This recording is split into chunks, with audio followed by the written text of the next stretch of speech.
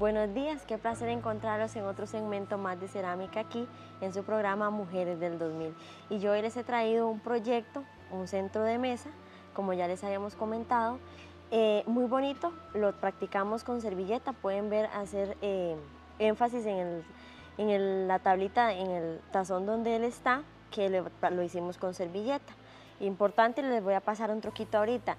La servilleta, nótese que es color blanco y trae como marmoleado. Nosotros lo que podemos hacer es, para que quede mejor, le colocamos una base de color blanco y luego eh, pegamos la servilleta en, la tableta. Ahí lo vieron. Entonces ahora vamos a practicar el difuminado o el flotado en la pieza que yo les traigo ahorita. Importante, quiero que mis compañeros me regalen una toma. Yo tengo aquí pinceles biselados. Uno, este es de un, de un cuarto y este es de un de un octavo. Perfecto, con esos pueden trabajar, ¿lo ven? Que es gruesito y con este delgadito. Entonces por aquí yo voy a empezar a hacer el flotado. Entonces, cargamos suficiente el pincel de nuestro líquido, ¿verdad? Escurrimos lo suficiente y venimos y cargamos de cafecito. Aquí yo tengo un, un color café oscuro, entonces venimos y vamos a empezar a descargar de esta manera antes de colocar el flotado en la pieza.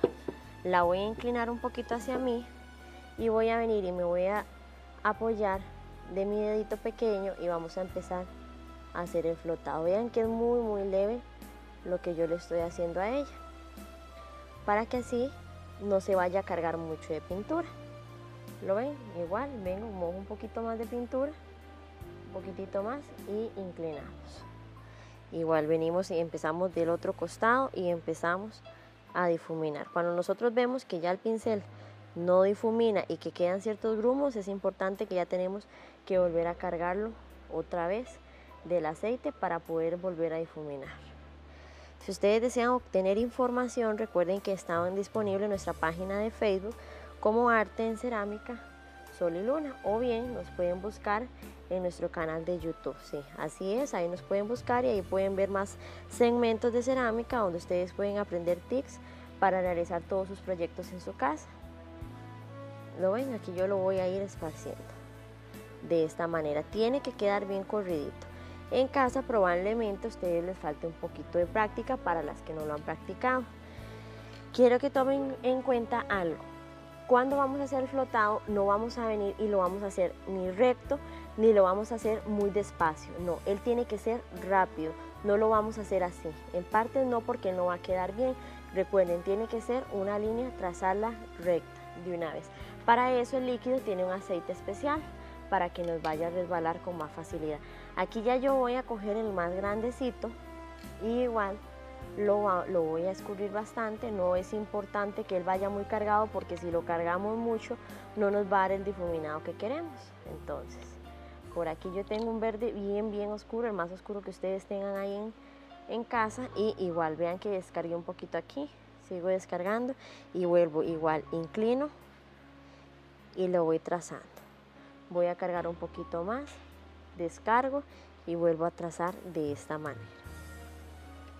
Mi número de teléfono, por si desean obtener información de los cursos, es 8536 6999. Quiero aclarar algo y darle la información a todas las personas que siempre me preguntan para asistir a las lecciones.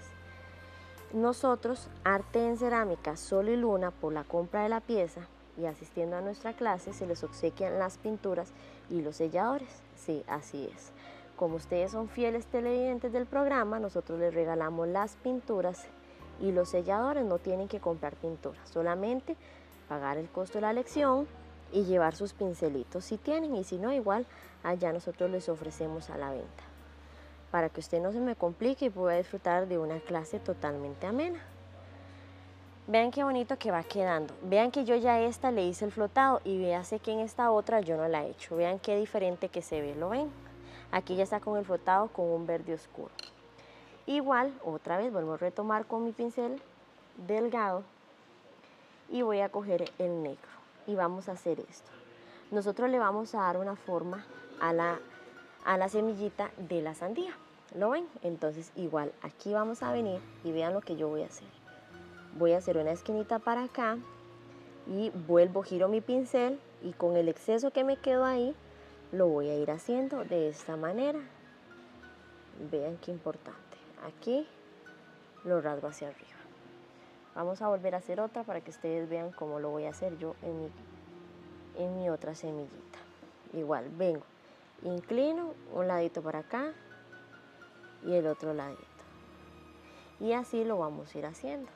Ahora vamos a hacer la luz de un costado, pero esa luz la vamos a hacer con negro para que ustedes vean la iluminación que le vamos a hacer.